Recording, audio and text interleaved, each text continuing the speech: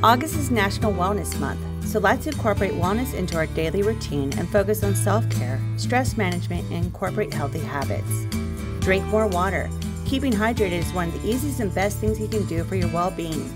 Water helps gives you energy, flushes toxins, helps to improve concentration, and can help with weight loss. Practice yoga or stretch.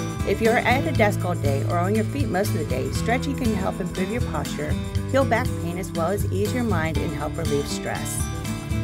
Make exercise a priority. There are so many benefits to exercising, including pain management, letting stress out, boosting confidence, as well as increasing strength and so much more. Make healthy food choices.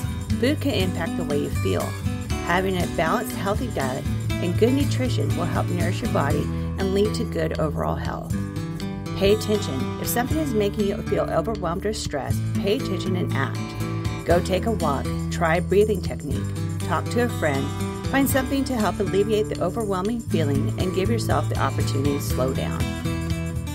Take this month dedicated to wellness as your chance to begin creating and incorporating healthy routines into your daily life.